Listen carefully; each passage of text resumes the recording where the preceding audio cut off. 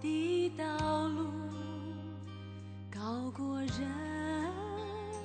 的路，神的意念高过人的意念，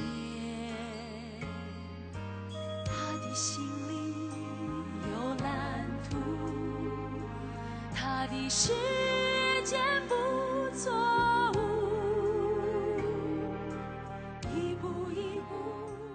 弟兄姊妹，想想看，比起犹太人，我们是何等幸福的一般人。神是三而一的神，你不管在什么地方，你只要叹一口气，你只要在那里向主祷告，主听你的祷告，因为我们的主是无所不在的。所以弟兄姊妹，主说：“我若我去，是与你们有益处的。”我若不去，保惠师就不到你们这来；我若去，就来。感谢主，弟兄姊妹，他来了就要叫世人为罪、为义、为审判，自己责备自己。所以感谢主，你看见这是，你看见如果没有圣灵，我们连得救都不会得救；如果没有圣灵，他根本不可能感动我们。所以感谢主，弟兄姊妹，你看见吗？这就为什么神是三而一的神。但是呢，不要忘记，这个不表示三位神，不表示说这个水有三种，没有水只有一种，只有一种，但是又是三，它有三种不同的状态，它隐藏起来就是气体的水，然后有液体的水，还有固体的，固体的水就是冰，气体的水就是水蒸气。那弟兄姊妹，现在我们知道，事实上他们是一个的，并没有，并不是三个。所以这一点，弟兄姊妹，我们要明白。所以你要知道，约翰福音在后这一段圣经和三本福音书不同在哪里？只有约翰福音讲到圣灵，所就就不是很明词、很明显的讲到圣灵的身位和他的工作。所以弟兄姊妹，如果你要认识圣灵，弟兄姊妹最基本的一个认识是在约翰福音里，不要忘记。当然，你到使徒行传，你也能看见圣灵的工作，但是对于圣灵的解释，他的身位和他工作的解释，是我们的主自己解释的，不会错的。因为你千万你放心，不会错的。那么到了使徒行传是有现象，那你怎么解释现象，那是另外一件事。所以弟兄姊妹，你看见吗？许多时候我们以为说讲到圣灵的时候，一定要有风，一定要有火，这是我们在使徒的行传第二章所得的现象。所以我们的感觉就是，如果你有圣灵的经历的话，你的经历一定是戏剧化的经历，一点都不错。在创始在使徒行第二章是如此。但是你等到读到十三章、十四章、十五章、十六章的时候，你在保罗身上，你就看见不是这样。你看见耶，他等到他要到一个地方去的时候，耶稣的灵不许；他要往哪里去讲道的时候，圣灵禁止他。所以弟兄姊妹稀奇的很，风随着意思吹，你不能够决定圣灵要用什么情形来做工的。这一点我们一定要清楚，到底是你大呢，还是圣灵大？所以，当你读到《使徒行传》，你看见圣灵的一些形象，一点都不错。圣灵有的像风一样，圣灵有的时候像火一样。所以，圣经里面用火、用风来形容圣灵。但你千万不要告诉我说，圣灵只是火或者只是风，不不止这么多。所以在《使徒行传》，你可以读到许许多多的圣灵的工作和它现象和它的表现 （manifestation）。但是不要忘记，弟兄姊妹，你对于圣灵的身位和他的工作，那个解释在哪里？在约翰福音。有的人读《使徒行传》，读圣灵读到一个地步，好像圣灵变成 it，变成他。好像没有个位，好像没有身位的他，这是大错特错，弟兄姊妹。不错，我们的圣灵的的确降卑他自己，他愿意。所以圣经告诉我们说，从穿上，他们就从穿上，从天上来，就是从穿上，从上头来的能力。这指的圣灵浇灌说，那一点都不错。圣灵好像一件衣服想给我们穿，那是圣灵降卑他自己。因为圣灵他从来不为自己做见证，他都是为基督做见证。他只是为着荣耀基督的。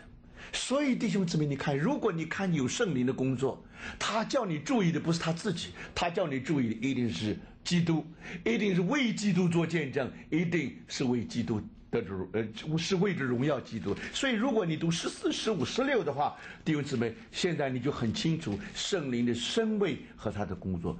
他的身位是什么身位？他就是神自己。所以这一点，弟兄姊妹一定要记得。你我。你怎么样能够被圣灵充满？被圣灵充满就是你被圣灵完全得着了，圣灵完全的管制你，圣灵完全的管理你，因为圣灵就是神自己。所以弟兄姊妹，我们一定要有这样敬畏的感觉才可以。所以弟兄姊妹，这是个非常非常重要的事。但是感谢主，为什么？我们的主要求另外一位保惠师，叫他永远与你们同在呢，因为只有当圣灵来的时候，那弟兄姊妹，圣灵就永远不离开我们。所以主，所以你读到马太福音，弟兄姊妹，你有你有没有你你主是怎么说的？你如果读到马太福音最后一章，那么最后几句话的时候，我们的主怎么说？我就说，发主说，我就常与你们同在。直到世界的末了，所以弟兄姊妹，我们的主怎么能说这句话？意思就是这个爱是到底的爱，怎么可以这样？原因就是因为虽然我们的主升天了，他在圣灵里面来了，所以弟兄姊妹，今天圣灵在这里，主也在这里，所以主说：“我就常与你们同在，直到世界的末了。”这个爱才是到底的爱。所以，弟兄姊妹，感谢主，这个就是十四章一个很重要的思想，就给我们看见，当以当这个门主们的离情别绪，当他们被这个愁云，呃，当他们被这个这个这个离情别绪好像完全笼罩的时候，我们的主安慰他：“我不撇下你们为孤儿，他来了就是我来了。”嗯，后面你如果读到。这个第十六章那里还说：“等不多时，你们不就不得见我；再等不多时，你们还要见我。”就像刚才这里所说的，还没有不多的时候，世人不再看见我，因为他到天上，他为我们钉十字架，为我们复活，为我们升天了。你们却看见我，弟兄姊妹一点都不错，因为圣灵来了，就是主来了，他就是我。所以弟兄姊妹，我们的主不只说我父与我原为一，而且这里给我们看见圣灵和子也是一个的，所以这个就是三而一的神，是三个又是一个，是一个又是三个。那我们知道在圣经里面呢是用一来代表神的，所以父神是一，子神也是一，灵神也是一。那现在我们要问他们的关系是什么关系？他们关系是生命的关系，所以我们知道，在就在圣经里面讲到生命的关系的，他所用的那个运算不是加法的运算，是乘法的。啊，所以讲到联合的时候，比方说十二等于三乘四，三是神的数目，四是人的人的数目。那弟兄姊妹，神和人联合在一起是十二，所以你看在启示录里面有十二道门，然后在启示录里面有十二个珍珠，有十二个宝石，所以到最后你看一切都是十二。但是呢，七那是代表短暂的完全，因为是把三跟四放在一起。神和人在一起，这个是完全不错，但这是短暂的完全。那真正的完全是连结。所以圣经里面你讲的联合的时候，都是用乘法的。那弟兄姊妹，父神是一，子神是一，灵神也是一。那他们中间的关系既然是生命的关系，所以你不能用加法，你只能用乘法。那一乘一乘一等于多少呢？还是一，不是三。所以许多时候是我们的算术错了，是我们不懂得神的奥秘。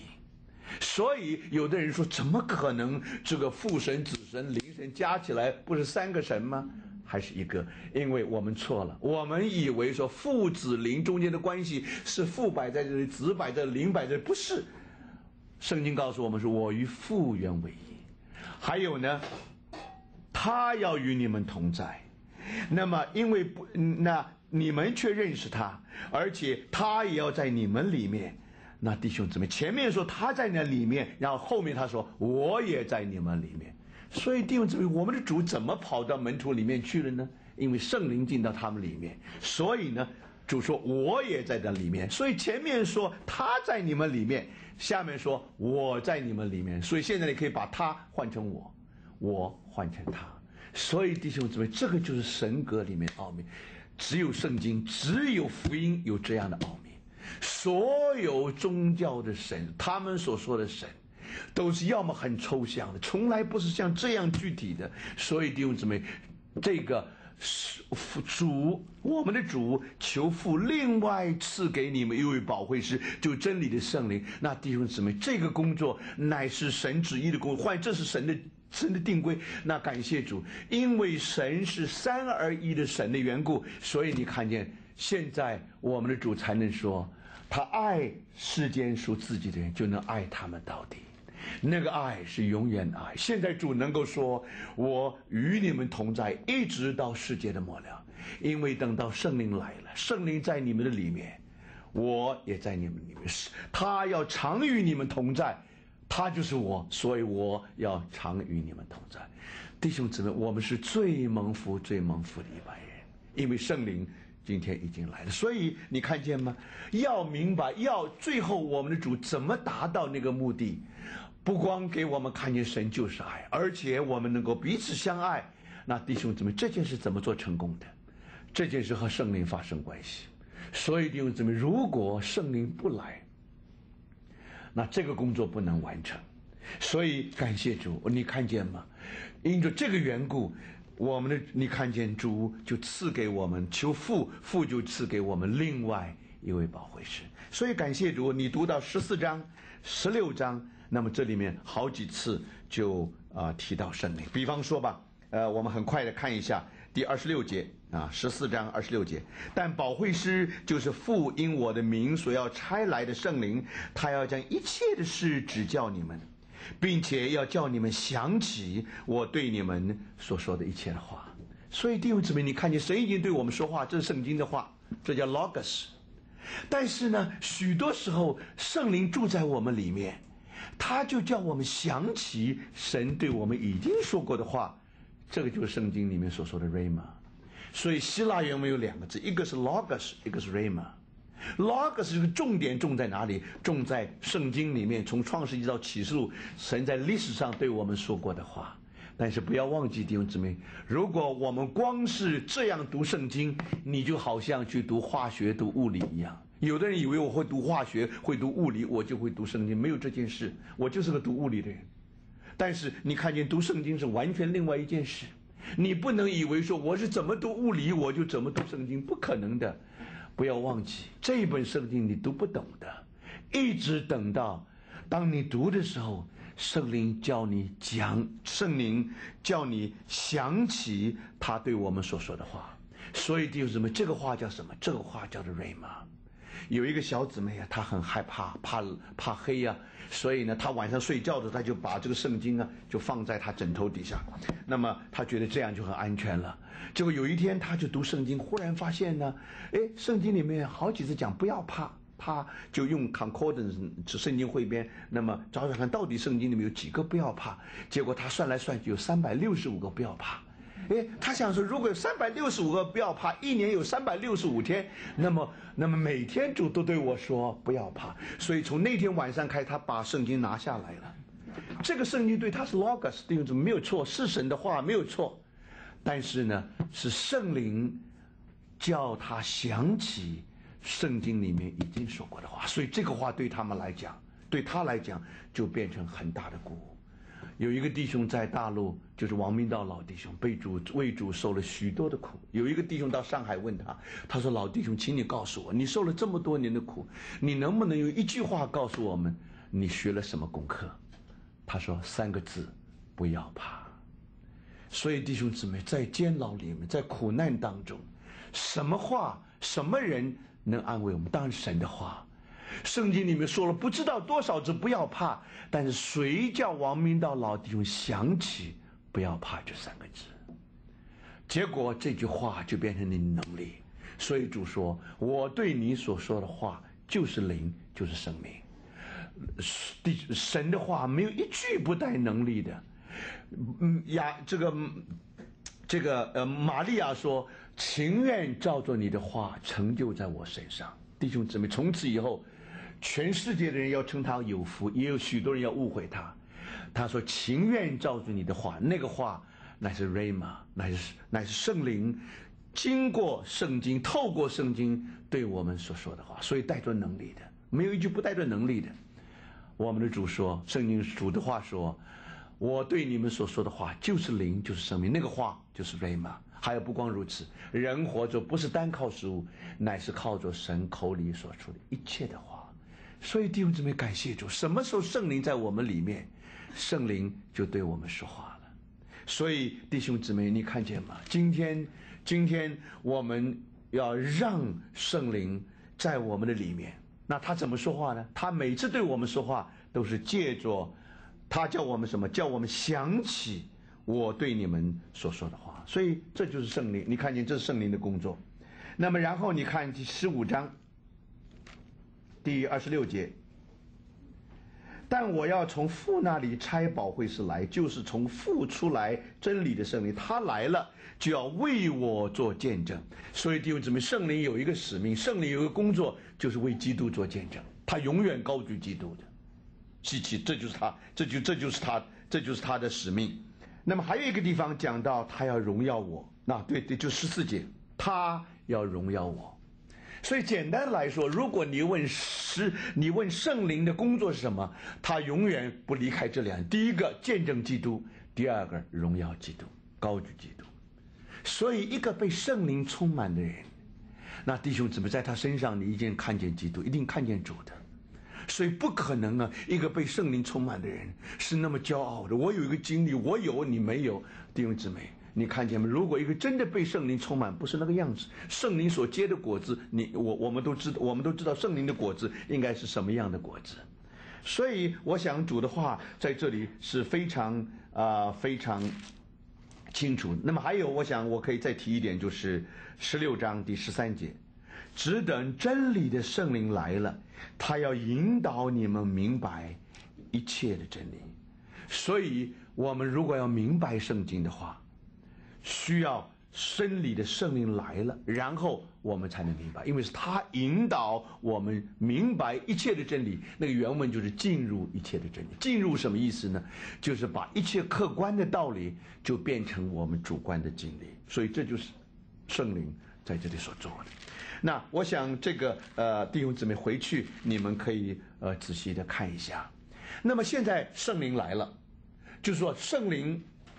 父，我们的主要求父，他就要赐给一位保惠师。那么这个都是那个蓝图里面的一部分，不要忘记。所以我们知道，那个目标，那个大目标就是神就是爱，那么基督就是爱的彰显。那我们这些人为了彰显基督的爱，我们能够彼此相爱。那弟兄姊妹，这个是我们的主他他他他的那个蓝图。那么在整个的过程里面，我们知道说，如果要，如果我们的主爱我们的爱是无尽的爱，是到底的爱，是永远的爱，那么弟兄姊妹很稀奇，这个是怎么完成的呢？这个就是他必须要到，不仅不光上十字架，而且他一定要升天的，因为只有这样，然后呢，他去才与我们有益。那么这样，如果主不去的话，宝惠师就不到你们这里来。所以弟兄姊妹，我们要看见主的升天和宝惠师有关系。所以我们的主，呃，这就是完全是主工作的一部分。好，那么现在假定胜利已经来了，那么现在我们的主就根据。蓝图来开始工作。我现在讲假定是因为根据时间的次序啊。如果就着时间次序来讲，我这个这个主是告诉门徒说，我要求父，要赐给你们一位保惠师，就是真理的圣。那么一直到五旬节圣灵才来的，所以这里很明显是这这，所以这里我们说是个蓝图。你看你们事情还没有，好像还没有发生，因为的的确确后来圣灵才降临的。所以但是现在我们的主就把那个蓝图就让门徒看见了。那现在我们很自然的、很快的就来到十五章。那十五章主怎么说？他说：“我是真葡萄树，我父是栽培的人。”那么弟兄姊妹很有意思，下面怎么说呢？下面说：“呃，凡属我不结果子的枝子，他就剪去；凡结果子的，他就修理干净，使枝子结果子更多。”那么很有意思，他说：“我是真葡萄树。”那么我们说过，这个真呢，在希腊原文不是真假的真，这里的真呢，乃是告诉我们说，原来我们的主啊，他是最原始的标本，他是真葡萄树，所有的葡萄树呢，都是根据这个葡萄树来创造的，所以所有的葡萄树，它所要诉说的故事，就是真葡萄树的故事。那么这个葡萄树说什么故事呢？我们已经讲过了。那经过四个月，它从空中吸取水分，从地里吸取水分，然后经过压酒池，最后从水就变成酒。所以弟兄姊妹，这个故事应该是主耶稣的故事。那么，但是呢，事实上呢，是在我们日常生活里面，我们已经看见了那个葡萄树。那么现在呢，在第二章，就是约翰福音第二章，就给我们看见，果然呢。那个水经过这个真葡萄树，它果然把水变成酒，所以我们的主真的是那个葡萄，真真的是那个是主的是真的那个葡萄树。所以弟兄姊妹，你看见很你看得很清楚，你看得很清楚是什么呢？你看得很清楚，就是在那里很明显的，我们的主就证明给我们看，它是真葡萄树。所以真葡萄树啊，我们的主宣告的时候是十五章第一节。但是事实上，第二章已经给我们看他真葡萄树，否则他怎么怎么会水经过它就变成酒呢？所以很清楚，弟兄姊妹，你看见约翰福音这里的启示是一贯的。那么讲到第二章，那是讲了生命的部分；讲到十五章，那就是讲到爱的部分。所以弟兄姊妹，你看见吗？在这里有一个很奇妙的连接。那么首先呢，我们要知道，当我们的主说我是真葡萄树，他说你们是枝子，特别是第五节，我是葡萄树，你们是枝子。所以这里很明显告诉我们说，我们的主和枝子的关系，那个关系是什么关系？那个关系乃是生命的关系。那么现在我要问弟兄姊妹，什么时候我们能经历这个经历呢？乃是圣灵来了以后。所以，我们的主先要讲到保惠师，先要讲到圣灵，然后他要在你们里面。那么现在主也在我们里面，我主在我们里面，我们也在他里面。那这个就是生命的连接。那你怎么来形容那个生命的连接呢？十五章就是个很漂、很美丽一幅图画。所以弟兄姊妹，为着要解释你们怎么样在我里面，我也怎样在你的里面。那现在有一个什么样的情形，什么样的光景，能让我们知道果然是如此呢？所以十五章，我们的主就给我们一幅图画，它是真葡萄树，那我们不过是枝子。那弟兄姊妹，我们这些枝子和葡萄树的关系是什么关系呢？是生命连接的关系。所以呢，下面主怎么说？你们要常在我里面。我也常在你们里面。那常在什么意思？常的意思是说，你们要常常连在我的树上。那么我呢，也在你们的树上。所以弟兄姊妹，枝子和整个的葡萄树是有交通的。什么时候枝子只要连在上面，不掉下来，不离开它？那弟兄姊妹，你看见吗？这个就是你们若常在我里面，你们要常在我里面。那这句话在希腊语原文是：你们要住在我里面，要安家在我们里面，要逗留在我的里面。那弟兄姊妹，现在你明白了，这个葡萄树和枝子的关系乃是生命的关系。